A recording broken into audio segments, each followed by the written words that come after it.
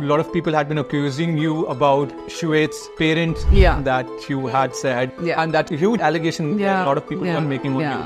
And uh, I guess Shwet also has, like, you know, because of that only he has kind of, you know, character assassinated you. And I don't honestly. I mean, I feel like character assassination is a big word. So I really don't want to entertain that word only because I don't know uh, whether it was character assassination or whether whatever it was. I mean, I don't want to name that, but I feel like. Um, so what actually happened? I mean, that situation. Uh, basically, uh, in like roadies, Lekha and Akriti, both of these girls were in touch with Shivet before the show, and something happened related to his mother. Some sort of uh, I don't know. I I really don't have the clarity. So and also I feel like I mean I need to choose the right words because Yeah. again people misunderstand it. Yeah. So uh, they told me that he lied about his mother's decease. Okay. The, that's what Akriti and Lekha has told me. So in one of the lives with Akriti, uh, we were talking about, you know, we were like, because just before that live, somebody threatened me to put an acid on my face. So I was in a very different zone. I was crying, I was bursting with emotion, and I was literally with a hatred that because of this man, I'm getting all that shit.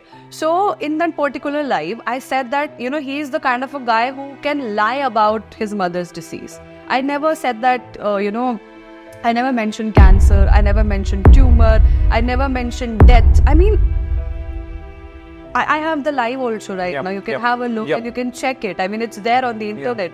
But you know, that moment, what happened was before Shivit and I went on the courtroom, though that Akriti Sachin happened, and just because of the thing I revealed, everybody had put uh, fingers on me that I am saying certain thing about a girl. I never said that she's a bad person or she cheated or something. It started from Sachin past, and I knew something about Akriti's past. So Yep. for my friend, I stood up. But till that time, everybody, you know, thought wrong about me. So that somehow, um, somehow made me feel like there is nobody for me. And maybe I am looking like a bad person. So already I was morally down. And then the moment I reached to that point, I was very confident. To be honest, I was very confident because I knew that I haven't done anything wrong that this guy would have any allegation against me. But I mean, it came out of shock when first of all he said that she kissed me without consent. Yeah. So, uh, I mean, he said he she kissed me without consent, and my reaction was what? And you know, quickly he said that not on the lips but on the cheeks. Yep. So I was like, I mean, you know, And also, you slept with him. You know that is also he said. And then after that, he was saying that, um, like, yeah. So basically, I want to clarify. I don't want to, uh, Yeah. you know, audience to think wrong of him as well. We both were not talking about intimating or something like that. We both were talking that you know, uh, sleeping next to someone. That's it. So uh, when he said that about the kiss thing, I mean, it came out of so much shock to me because you know my my, my mind wasn't able to process it because see when he said that there was nothing in between us it took me almost 10 months to keep saying the audience it was not friendship it was not how it came on camera. Now imagine another lie and another months of justifying. So i literally from inside i gave up that i cannot win from him. You know the moment i'll say something else he'll say something else and i'll keep on saying and everybody was with him the whole villa. Even my friends were not with me in that. So i knew that whatever points i'll make it will come out as lie only in front of people and before I could process that thing, I mean, another allegation comes about the mother thing. And I think that uh, courtroom episode wasn't being shot or I don't know, edited well or I don't know, shown properly. I don't know because uh, there were clips from between, from here and there. I I did say that that if you feel bad that I said something about your mother, I'm sorry. I said sorry to okay. him it was not shown uh, ah. shown on the camera. and uh, because see i understand even if it's misunderstanding whatever whatever it is if somebody is on the peak of his voice you know about so his you mother put your yeah, point actually. and he's he was not letting me talk also. Mm. he was hmm. not listening he was not letting me talk. And at the same time i mean i was trying to put certain points. So sunny ma'am was like kuch naya hai to bolo i was like it's not a script.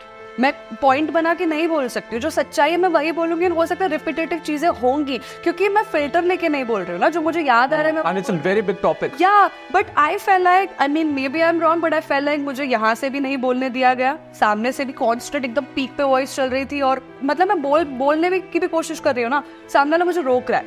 तो वो ऐसा point हो गया था ना और मतलब मेरे को समझ नहीं आ रहा था मैं वो किस वाली चीज़ प्रोसेस करूँ।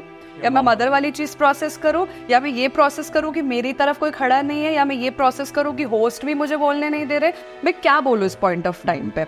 I mean I feel like वो टॉपिक इतना सेंसिटिव था ना, मैं चाहती तो मैं भी चिल्ला सकती थी, चीख सकती थी, पहले भी किया रोडीज में जब री एंटर हुई थी तो तब लड़ी थी ना तो ऐसा नहीं कि हिम्मत नहीं थी बट इट्स लाइक वो टॉपिक इतना सेंसिटिव था ना कि अगर मैं बोलती ना तो वो और गंदा हो जाता एंड कोई इंसान अगर अपनी मदर को लेकर इतना ज़्यादा वो है तो मैंने सोचा था बाद में जब कभी टाइम आएगा आई क्लैरिफाई या समथिंग और मैंने सॉरी भी बोला बट वो आई थिंक अलग ही जोन में था.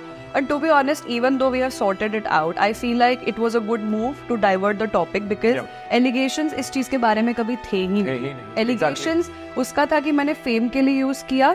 मेरा काउंटर uh, यही था कि अगर मुझे फेम के लिए यूज़ करना होता तो मेरे पास बहुत ऑप्शंस थे। गैरी था ऋषभ था जो लोग ऑलरेडी स्प्लिट्सविला से आए हुए मैं ऐसे इंसान को क्यों पकड़ूँगी जिसको कोई जानता नहीं है? और जिस इंसान को मेरा नाम पता था शो में आने से पहले मैं एंड तक भी उसका नाम गलत ही ले रही हूँ। I had no idea but ये है ना कि हमारी इंडस्ट्री में ना ऐसा होता है कि जब कोई अपनी कहानी बताने की कोशिश करता है ना और अगर आप एक एक्टर हो या आप इस इंडस्ट्री से हो तो उसको फुटेज फुटेज का नाम दिया जाता है ड्रामा दिया जाता है। बट अगर सेम इंसान सेम कहानी टीवी पे नहीं बता रहा हो बता फुटेज वर्ड नहीं आएगा।